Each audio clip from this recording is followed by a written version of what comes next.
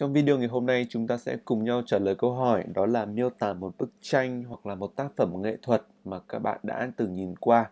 Thì trong cái bài này chúng ta có quyền miêu tả bức tranh hoặc là một bức tượng gì đó mà các bạn đã từng nhìn thấy. Nhưng mình sẽ chọn bức tranh đi bởi vì nghe nó nghe có vẻ dễ nó có vẻ dễ liên tưởng hơn.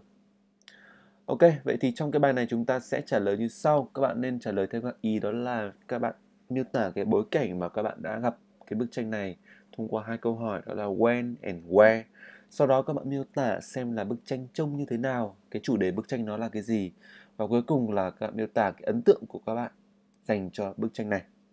Thì trong hai câu hỏi đầu tiên thì chúng ta cũng sẽ học được một số từ vựng liên quan đến hội họa và một số từ vựng khác như là ờ, nhớ một cách rõ ràng thì ngoài từ clearly remember chúng ta có từ nào khác hay miêu tả một cái một họa sĩ rất là nổi tiếng một nghệ sĩ rất là trừ danh chỉ chúng ta có từ nào khác ngoài cái từ famous artist hay là không ok chúng ta hãy cùng nhau tìm hiểu hai câu hỏi đầu tiên when and where uh, did you saw this piece of art this work of art I would like to describe a piece of fine art that I saw in a painting class a long time ago.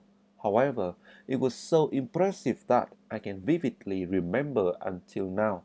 That is a painting named The Northern Nature by an established artist. I cannot recall the exact time and location that I saw this work, but as far as I can remember, it was in an extracurricular painting class that I attended at high school. In the class, I have learned comprehensive knowledge related to painting, ranging from fundamental theories such as colors and composition to practical skills like how to draw from life or how to reproduce works of other artists. Therefore, I had an opportunity to see this painting when we were learning about landscape. Ok, nội dung của bài này mình có nói như sau. Tôi muốn miêu tả một cái tác phẩm mỹ thuật mà tôi đã nhìn thấy trong một cái lớp học vẽ một khoảng thời gian lâu uh, trong khoảng một thời gian lâu phía trước rồi. Tuy nhiên thì bức tác bức tác phẩm này ấn tượng quá ấn tượng đến nỗi mà tôi có thể nhớ một cách rõ ràng cho đến thời điểm bây giờ. Đó là một bức tranh tên là uh, vùng phía bắc của Việt Nam, vùng phía bắc tự, tự nhiên phía bắc bởi một cái họa sĩ nổi tiếng, một họa sĩ trừ danh.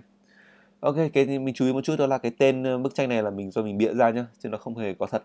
Thì các bạn muốn đặt cái tên nó là cái gì thì tùy các bạn. Mình cũng không có uh, để ý mà họ, giám khảo họ cũng chẳng quan tâm. Cho nên tùy các bạn. Ok, tiếp từ cái từ đầu tiên mà mình muốn chú ý cho các bạn đó là fine art. Fine art này art ở đây các bạn hiểu là nghệ thuật. Fine art này ở đây là mỹ thuật, tức là cái, cái môn nghệ thuật mà chú trọng đến cái vẻ đẹp của tác phẩm. Thì có một số môn nghệ thuật như là nghệ thuật nấu ăn chẳng hạn, nhưng chắc chắn là nghệ thuật nấu ăn thì nó không có chú trọng lắm đến cái đẹp. Tất nhiên là nó có chú trọng đến cái đẹp nhưng mà cái điều kiện quan trọng nhất của nghệ thuật nấu ăn nó là phải ăn được nhưng mà trong cái tác phẩm như trong một số cái lĩnh vực như là hội họa chẳng hạn thì cái yêu cầu đầu tiên của nó là phải đẹp. Thì đó được coi là mỹ thuật mỹ thuật fine art. Chứ fine ở đây không liên quan gì đến khỏe mạnh gì đâu hết đâu nhá cho nên các bạn dịch cho nó đúng bối cảnh một chút đó là mỹ thuật. Chúng ta có cái từ thay thế cho từ work of art ở phía trên này đó là từ piece of art. Như vậy à, cái từ a piece of fine art sẽ là một cái tác phẩm mỹ thuật. Ok tác phẩm mỹ thuật. Tiếp theo đó là cái từ vividly remember. Vividly remember có nghĩa rằng là clearly remember.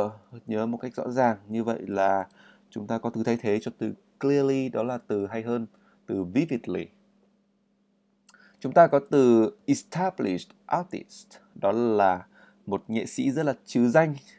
Chúng ta có thể thay bằng từ famous cũng được ở đây các bạn muốn bịa ra một cái tên uh, nhạc sĩ nào đó cũng được. Thật là who is gì gì đó đi. Đó thì các bạn đưa ra một cái tên nào đó thì mọi người. Nhưng cái đấy nó cũng không phải là cái chi tiết quan trọng cho nên là mình uh, không có viết vào nội dung tiếp theo mình còn nói như sau. Tôi không có thể uh, tôi không thể nào mà nhớ cái khoảng thời gian hoặc là địa điểm chính xác cái chính xác mà tôi đã lần đầu tiên nhìn thấy tác phẩm này. Nhưng theo tôi nhớ theo tôi nhớ đó là trong một cái lớp học vẽ uh, ngoài giờ. Tức là một lớp học vẽ uh, uh, ngoại khóa lớp học vẽ ngoại khóa mà tôi đã tham gia ở trường cấp 3 à, và tiếp theo trong lớp học tôi đã học các, các, các kiến thức toàn diện các cái kiến thức đầy đủ liên quan đến hội họa từ những cái lý thuyết nền tảng ví dụ như là màu sắc hay là bố cục cho đến những cái kỹ thuật Ờ, cho nên cái, cái kỹ năng thực tế như là làm thế nào để vẽ từ một người mẫu hay là để mà chép tác phẩm từ một các họa sĩ khác. Vì vậy tôi đã có cơ hội để mà nhìn bức tranh này khi mà chúng tôi đang học về uh, landscape là uh, landscape là vẽ vẽ tranh phong cảnh. Ok tiếp theo à, mình sẽ dùng chú ý một chút các cái từ vựng các bạn nên dùng này. Cái từ recall là từ nhớ, cái từ recall này đồng nghĩa, gần nghĩa với cái từ là remember. Nhưng cái từ remember phía sau mình đã dùng rồi, cho nên là mình khuyến khích mọi người nên dùng từ recall. Tiếp theo đó là ngoại khóa ngoại khóa. Curricular là chính khóa, tức là những cái môn mà bắt buộc các bạn phải học. Thêm cái tiền tố extra thì có nghĩa rằng là ngoại khóa, không bắt buộc phải học. Vậy thì cái từ này đọc đầy đủ là extra curricular. Cho âm rơi vào chữ ri curricular sẽ là ngoại khóa. Tham gia là attended. Ok, không vấn đề gì rồi. Ok, cái này là bôi đỏ là bởi vì mình có cái dấu phẩy. Tiếp theo này, trong cái lớp học này, tôi đã học một các cái kiến thức toàn diện. Tức là mình miêu tả một chút về cái lớp học này. Comprehensive knowledge. Đó là các cái kiến thức toàn diện liên quan đến gì đó uh, tiếp theo là những cái từ như là về hội họa như là colors là màu sắc là composition là bố cục. Ok tiếp theo có cái từ đó là draw from life tức là vẽ có người mẫu vẽ từ mẫu nào đó. Và ngược lại với draw from life tức là chép lại tác phẩm của ai đó đó là reproduce works of other artists. Work ở đây là mình sẽ dịch là tác phẩm nhá chứ không phải là công việc. Tiếp theo đó là ok landscape là tranh phong cảnh ok vậy thì đó là một số từ vựng. Các bạn có thể học tập một chút về cả về học cả về hội họa cũng như là các cái từ vựng nó hơi liên quan một chút. À, tiếp theo mình sẽ phân tích về ngữ pháp này. Ngữ pháp thì mình đã dùng được các thời như sau. Đầu tiên là mình đã dùng thời quá khứ này. Quá khứ đầu tiên là quá khứ. Đầu tiên là quá khứ tiếp theo là mình đã dùng uh, I cannot remember. Tiếp theo là mình đã dùng một cái thời đó là quá khứ tiếp diễn. Tức là lúc mà chúng tôi đang học về cái phong cảnh thì chúng tôi đã được nhìn thấy bức tranh này. Thì cái mình dùng thời tiếp diễn bởi vì nhấn mạnh rằng đây là việc đang xảy ra. Việc mà chúng tôi đang học phong cảnh thì tình cờ gặp cái bức tranh này. Đó. Thì việc gặp bức tranh này là việc ờ, chen vào. Đó. Thì nó hơi nó hơi lý thuyết một chút thì các bạn cứ hiểu như thế là được chứ đây IELTS cũng chẳng quan trọng gì thì các bạn có hiểu ngữ pháp hay là không. Cứ miễn là các bạn dùng là được. Tiếp theo là mình dùng thời hiện tại hoàn thành. I have learned. Ok vậy thì đó là ngoài ra thì mình có dùng một thời hiện tại nữa nhưng mà nó không có đáng kể. À, tiếp theo mình sẽ miêu tả nói thêm một chút đó là cái cấu trúc đó là so cộng với that. Tức là quá đến nỗi mà. Nghĩa là sao nhỉ? Tức là đây là quá ấn tượng đến nỗi mà so cộng với tính từ sau đó that cộng với cụm chủ vị tiếp theo, mình đã dùng một số câu mệnh đề quan hệ rút gọn, ví dụ như là câu này. Bản thân câu này bản chất đó là which is named, which is named, đúng không? Nhưng mà sẽ bị rút gọn, đi thành có named mà thôi. Tiếp theo, mình cũng đã dùng được một số chỗ. Ở đây mình sẽ bôi đỏ đi. Ok. Ở đây là mình dùng mệnh đề quan hệ này. That là mệnh đề quan hệ, đúng không? That đây cũng là mệnh đề quan hệ này. Ok cho bài này mình dùng cái này khá là nhiều mệnh đề quan hệ. Ranging from các bạn chú ý một chút đây cũng là cái mệnh đề quan hệ rút gọn. Câu đầy đủ của nó là which range from đúng không? Nhưng mà bị rút gọn đi. Đây là câu chủ động cho nên là bị rút gọn đi thành uh, ranging. Các bạn chú ý này ranging thì đi với giấy từ đó là from sau đó thì là to nhá ranging from to. Uh, ranging from danh từ A đến danh từ B có nghĩa rằng là từ cái danh từ này từ cái này cho đến cái kia. Sau đó mình liệt kê ra dài dài một chút ví dụ như là suggest và like. Ok cái đấy thì là vấn đề mạch lạc rồi. Uh, ok đây là cũng là một mệnh đề quan hệ mình sẽ bổ sung vào.